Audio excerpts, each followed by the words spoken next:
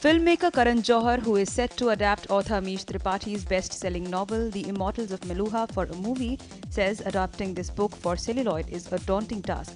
He adds that this will be the greatest challenge and a game changer for Dharma Productions. But internally, we've gone through the processes of really finding out exactly who the perfect team would be to write this film.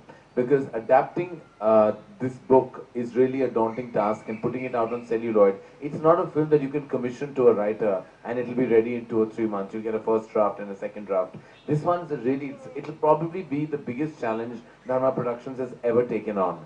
So we needed to get it right.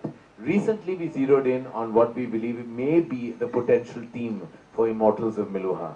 Uh, there are a lot of verticals that are involved. So the deadline is truly the work is in progress as we speak. For me, it's just not another film.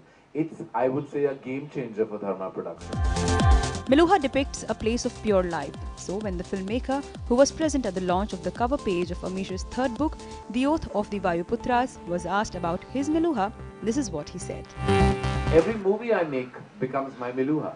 Uh, because that's my, to me, every film is therapeutic. Every film is, uh, I would say, it becomes your life at that point of time.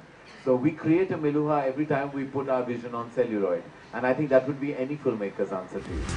The Immortals of Meluha is the first novel of the Shiv trilogy series. As of now, the cast of the film has not been decided, but if sources are to be believed, actor Hrithik Roshan may become a part of the film. Sangeeta Tomar, IANS.